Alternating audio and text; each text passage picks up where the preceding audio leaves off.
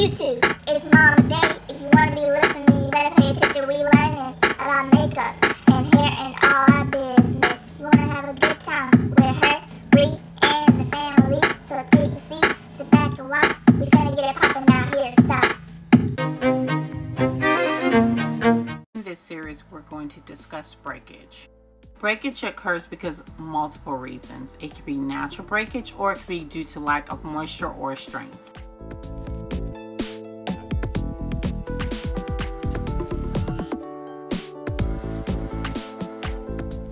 There are three levels of breakage. Let's go through them. Level 1 breakage. Even at its healthiest, our hair still has breakage due to the fact that our hair's natural curly bending state is delicate. On a level 1, you will have 5 or less break strands on a non-wash day and 10 unless on a wash day. The most common breakage is level 2. The fact that breakage occurs due to neglect or misdiagnosis. You will have no more than 10 to 15 broken strands on a non-wash day and 15 to 20 on a wash day. Level 3 breakage is due to unresolved, ignored, or extended time frame of breakage. Large clumps of hair are lost in a routine styling and on a wash day. More than 15 strands on a non-wash day and more than 15 to 20 on a wash day.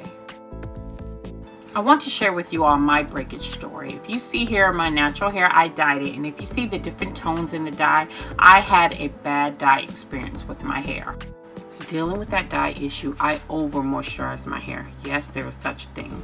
I did tons of wash and goes, wet styles. Um, I would hold my hair in ponytails and my hair would still be wet all day. I realized then that I was over moisturizing my hair. I didn't know until I had my curls were affected by the moisture absorption. Um, my curl patterns, my definitions were gone. The styles that I did, they unraveled quickly and they did not hold long for two to three days. Another self thing I did was protein overload. Taking protein and using way too much of it can cause breakage. And this picture right here, I want to show you the one on the left is where I had moisture absorption and the one on the right is where I had protein. And you see how my curl definition was back with the protein use. But I didn't stop. And if you notice in these pictures, my hair is curled how and has style however it looks very dry very brittle and that's what happens when you have protein overload after having that moisture absorption and protein overload I learned that it's a balancing act you can use both but you have to know when you need moisture and when you need protein now my hair is freshly washed by using the click from Entwine Couture. I want to do something different to my hair and blow dry my hair. I know what you're thinking, Mama, didn't you say that heat was bad? I know, but wait. I like to put a protein treatment in my hair before applying heat to it. That way it strengthens my hair before even using the heat. Reconstructing or bringing strength to your hair is important if you have protein needed hair. If using heat or even having chemical process like dyeing or relaxers your hair, a protein treatment may be a good tip for you. However, I always tell people make sure you don't over protein. I had shampoos, conditioners, leave-ins, all of them all had protein in it and I was using them faithfully. That's how I got overloaded. Now some of your styling creams are going to have hydrolyzed protein in it or wheat protein. They all do because you want to strengthen your hair before styling it. However, you want to be cautious that not all your products have protein in it because all of a sudden you'll just cause a buildup on your hair and hence may get protein overloaded hair. So be cautious and and know what you're putting in your hair, okay? Now I've rinsed out the protein, but I'm not finished. Now you have to follow up with a moisturizing deep conditioner. It's important, even after putting that strength in your hair, you want to reapply that moisture to soften and bring that elasticity back to your hair. I want to make sure you know it's important that 15 to 20 minutes, even 30 is a good enough time to deep condition your hair. You don't want to always leave it overnight because then you can cause moisture absorption and lose the elasticity of your hair.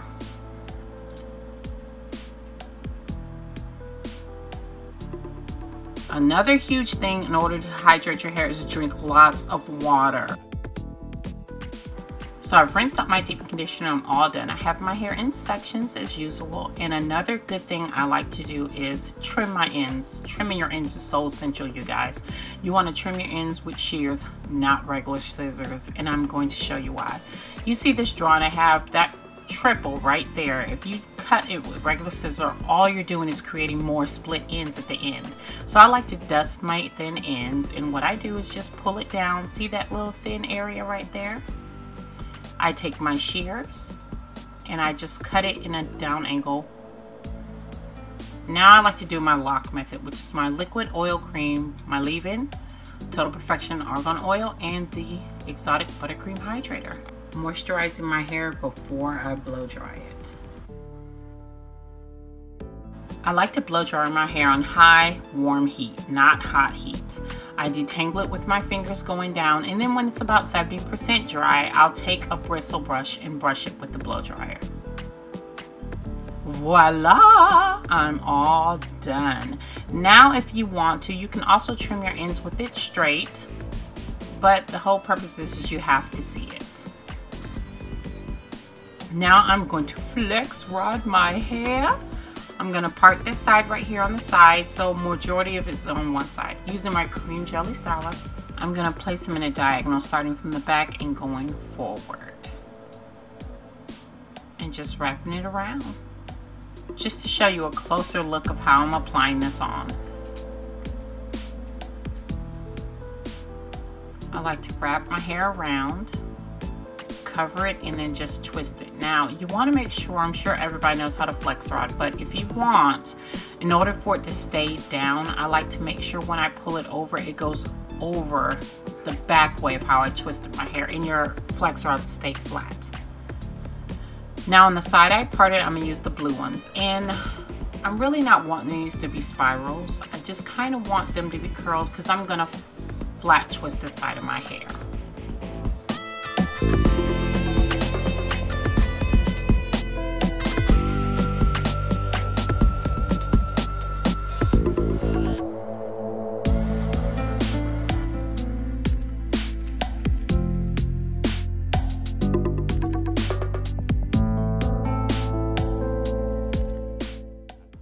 Okay, now I'm gonna put that head rag on it and time to go to bed. But I want it to stay down, so I'm gonna take another head rag on top of my bonnet. And don't tie it too tight, but tight enough so it won't go anywhere. Okay guys, going to bed. Morning. Okay, it's time to use the Argan Oil Total Perfection. Put a couple pumps on my hand to unravel these flex rods.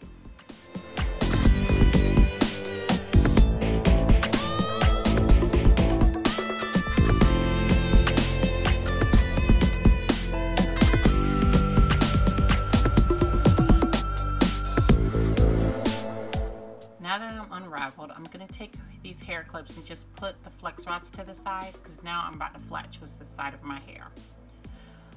Taking the cream de la Mode and I'm to put it on my edges. You know how I like some laid edges.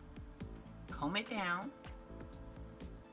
And I'm to part this just in three sections and just flat twist my hair in a big, easy, simple flat twist. Of course, if you don't know how to flat twist, I will put a link in the video down below on how to flat twist and these are just going up towards where the other flat spirals are. Quick and easy style. And now we're going to pin them with my curved pins that I love so much.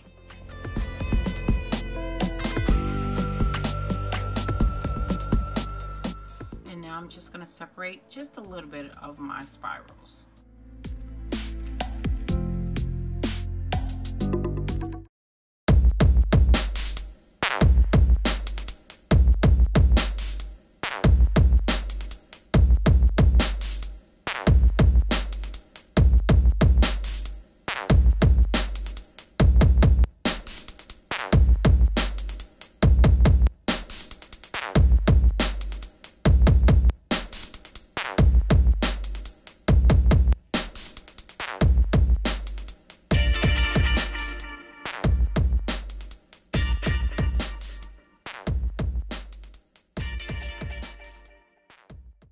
Entwine Couture wants to give you another chance to win another Beyond Expected audition kit. All the information for this giveaway is down in the description box below. To save $5 on your next Entwine Couture purchase, type in Mama D Go Nat 14 in your promo code to save $5.